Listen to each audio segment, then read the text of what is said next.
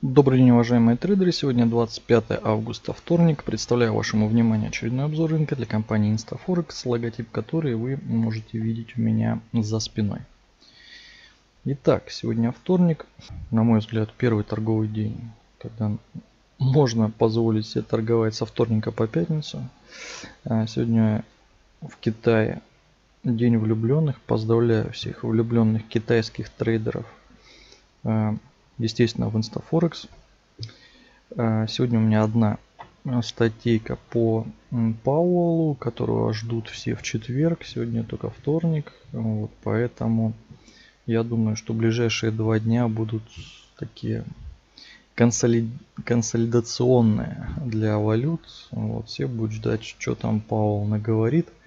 Многие уже, смотрю, под, подфиксились перед этим вот, начиная с конца прошлой недели.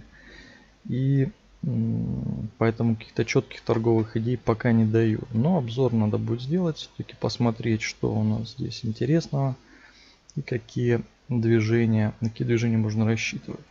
Первый инструмент у нас золото. Золото подваливает сегодня потихонечку в сторону американских шортов. Обратите внимание, как э, золотишко очень четко подрезает э, аукциончики, что говорит о том, что золото наконец вернулось в русло э, каких-то среднесрочных флетов и может позволить себе отстапливать междневных трейдеров по междневным аукционам.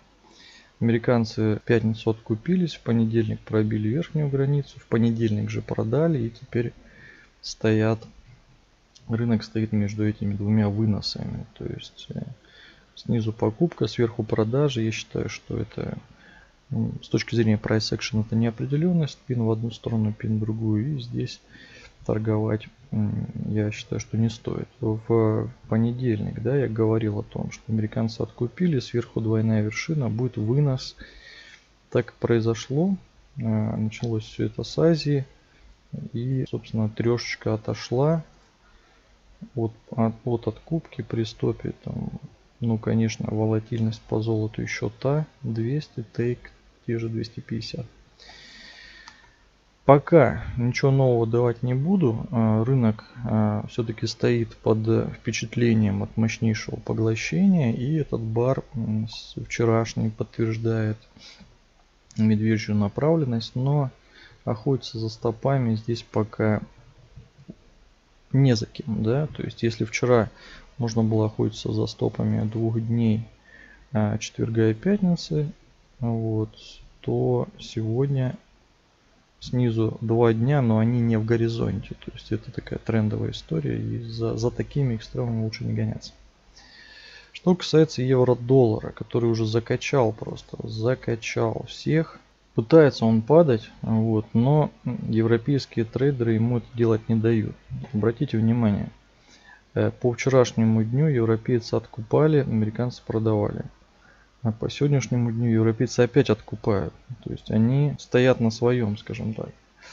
Вот. Но я думаю, что в любом случае основная разгрузка а, либо по, по низам, либо по хаям, возможно, произойдет именно на Пауэле, который, который, которого ждут. В ближайшие два дня будет флет э, такой междневной, может будет выносить и экстремум вчерашнего дня, может быть и низа будет трогать. Но я думаю, что вот этот, этот треугольничек дневной, он будет вот здесь вплоть до выступления Паула. И разгрузится он только на нем.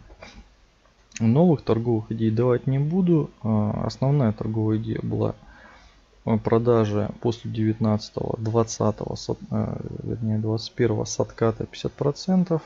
Эти позиции держим. Новые открывать э, сейчас опасно потому что по вчерашнему дню у нас неопределенность с пятницы. То есть пятница откупка американская понедельник продажа. То же самое по большому счету по золоту, но там чуть более техничнее по площадке прошлись. Здесь такого нет. Поэтому жду каких-то мелких разводничков. Основной план у меня на понижение сохраняется. Я считаю, что э, еврик должен прилететь в 1.17 и отстопить вот эту нижнюю площадку.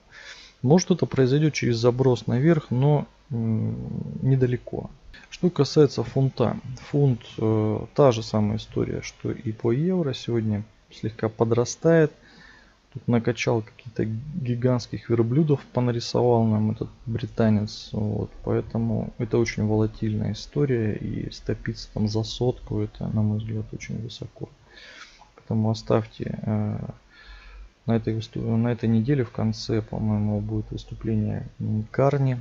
Ну, вот я там, там думаю, поджидают британцев в это время. То есть в четверг э, Пауэлл, в пятницу Карни. В общем, будет весело. Что касается иены, казалось бы, иена самый, самый коматоз из, из всех инструментов, которые мы обсуждаем. Вот. Но свой пин-бар в тенденции обновил площадочку красиво. Не, ож, не ожидал я от него. Свой сорокет он забрал а, этот инструмент. И пока здесь тоже, я считаю, пока делать нечего. Что касается наших кроссов, ситуация пока не меняется. На кроссы, напоминаю, для тех, кто в танке, я рекомендую работать только сетками. Мы набирали шортовую сетку по столицу Канадцу. Будем сбрасывать ее в ноль в районе 94 уровня. Осталось немного. И австралиец Новый Зеландец также у нас в наборе шортовой сетки. Новых рекомендаций пока не даю. Что касается кроссов э, с франком. Доллар-франк считаю тоже кроссом. Э, потому что у него такой характер. Вот такое, качает его. Эм, здесь пока тоже пока неопределенность. Э, для тех, кто э, держит шортовую сетку, держите. Новые позиции открывать только при пробое минимума года и сброс на 50% от основного движения, которое произошло у нас за последние три месяца. Что интересно у нас с кроссами с иеной, канадец иена и франк иена. Франк Иена идет на обновление года, где также сетками можно набирать его в шорты, напоминаю, с небольшим, очень небольшим объемом и шагом от 50 до 100 пунктов по четвертому знаку. Ну и доллар канадец приостановил свое шортовое ралли, а, но я считаю, что это еще не все падение, потому что снизу осталась площадка сверху рекомендаций по нему не даю. Это очень затяжной тренд. И не факт, что этот шортовый паровоз так быстро развернется, как вы хотите. И как хотят трейдеры на форуме Forex Деньги в моей ветке Энджи друзья. Я надеюсь, э, мои слова дойдут до того, кому они должны дойти. Нефтяночка пока также у нас консолидируется в третью волну от пятничного импульса. Я считаю, что проход в 40 три с половиной должен быть от хорошего импульса и шансы на этот рост есть. Ну и австралиец, на, э, австралиец к доллару. Я также придерживаюсь э, идеи падения этого инструмента на пробой нижней стенки канала на часе, который он нарисовал и уже начинает давить на него неистово просто.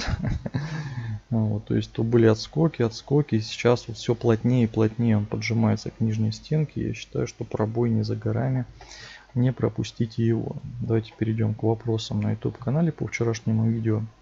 Вчера, кстати, много дизлайков. Почему? Потому что я наехал на Герчика и Бегларяна.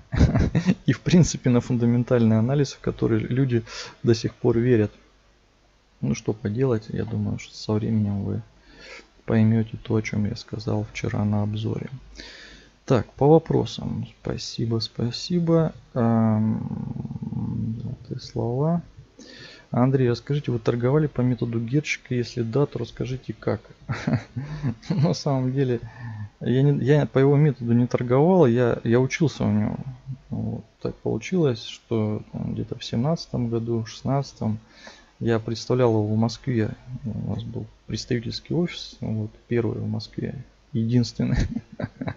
Вот, и мне э, посчастливилось э, посетить его 10-дневные курсы в Москве, такие живые. Стоили они там, ну, здраво на самом деле. Вот, я к тому времени, это в 17 год, я уже 7 лет торговал, и мне было очень сложно чем-то удивить вообще никак меня нельзя было удивить чем-то. Вот, я посмотрел этот курс. Я не буду говорить, хороший он или плохой, но Я все записал, все как надо. Ну, интересно было, как человек работает. Вот. Эм, но из вот этого 10-дневного курса я а, выбрал для себя а, одно утверждение, которое я постоянно всем говорю. А, торгуйте то, что видите, а не то, что знаете. И второй момент это Александр Овчинников мне показал, что такое лимитный уровень. Я об этом раньше не знал. Ну, собственно, я это не применяю до сих пор. Не знаю, я считаю, что все, что связано с классическим теханализом, не работает.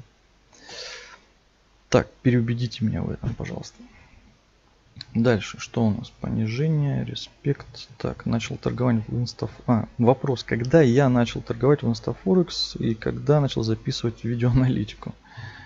Ну, смотрите, ну, на самом деле очень просто сделать. У меня есть аккаунт на форуме Forex Деньги, который, естественно, связан с э, брокерской компанией Instaforex. И здесь я зарегистрирован с 2011 года. То есть, фактически, это у нас что там, март ну, фактически, то есть я начал торговать где-то с 10 -го. Вот. Но аналитику вы можете проследить, она меньше года у меня здесь идет.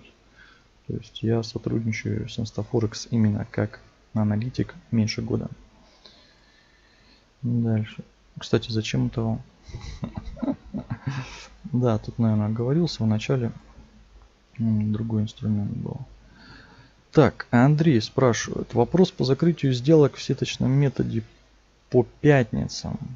Прикольно. Пятницу, пятницу, что прошло, у меня была дилемма, закрывать ли часть сеточных ордеров в доллар, франк, которые были в плюсе или нет. В итоге я закрыл плюс, но сегодня пришлось двигать take profit, ставить новые отложники.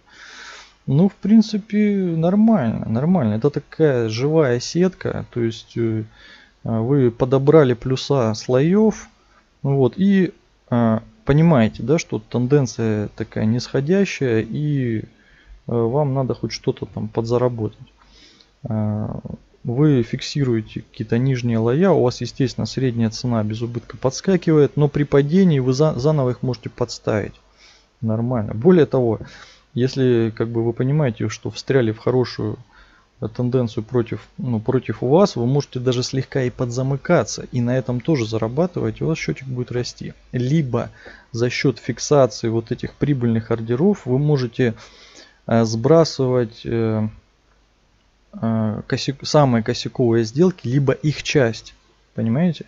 Это вот очень важно на самом деле. Вы, вы там подзаработали сотку, а у вас, допустим, ордер висит в сотку, минус сотку первый, например.